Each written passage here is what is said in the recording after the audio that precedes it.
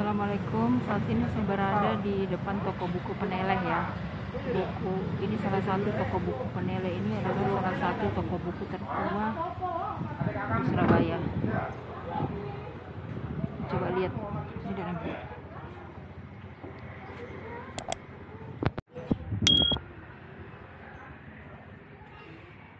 Oke.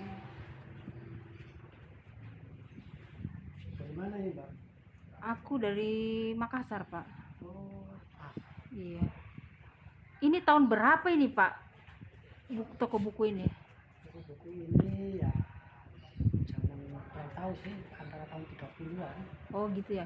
Nah, Bapak sendiri yang mengelola ini. Berarti Oh, saya karyawan. oh, karyawannya. Ha. Yang punya ini sebenarnya siapa, Pak? Yang punya itu orang tua namanya Bapak Latif Zen. Siapa, Pak? Latif Zen. Oh, beliau masih hidup atau? Oh ya sudah tidak ada. Jadi turunannya aja ya? Iya, Oh. Karena eh, kelahirannya empat tahun sama Hmm. Pak. Oh, gitu.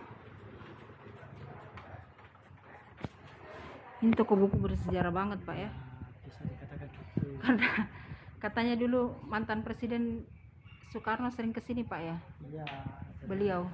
Kalau mau ke tempat kos-kosannya mesti sowan ke sini. Oh, gitu. Oh, kos-kosannya itu yang di rumahnya. Cokro Aminoto. Oh, di situ dia ngekos. Iya. Oh, gitu ya. Sama teman-temannya lainnya.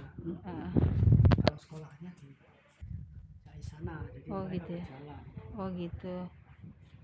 Iya, Pak. Ini bangunannya masih dipertahankan ya, Pak? Iya, nggak berubah.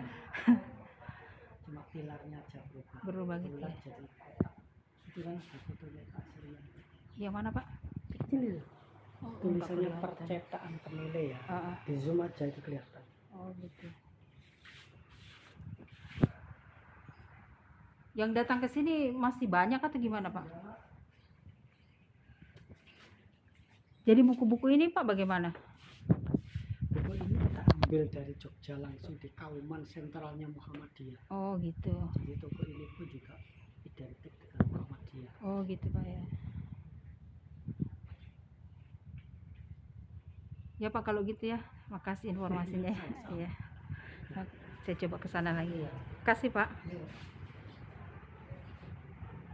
Iya.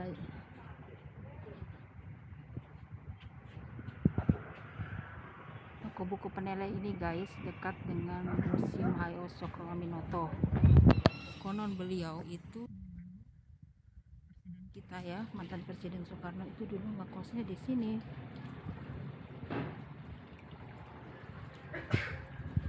Sini guys.